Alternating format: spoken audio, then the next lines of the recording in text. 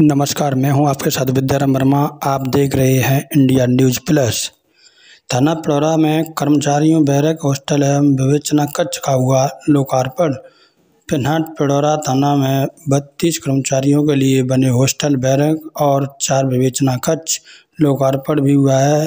SP पिन्हाट Amardeep लाल और थाना प्रभारी उदयवीर सिंह ने सरकारी योजनाओं और बेहतर पुलिसिंग के लिए जा रहे कार्यों के बारे में भी जानकारी दी। एसपी अमरदीप लाल और पिड़ौरा थाना प्रभारी उदयवीर सिंह ने बताया है कि, कोई भी घटना हो तुरंत पुलिस को सूचना दें। वह होली का त्यौहार आने वाला है।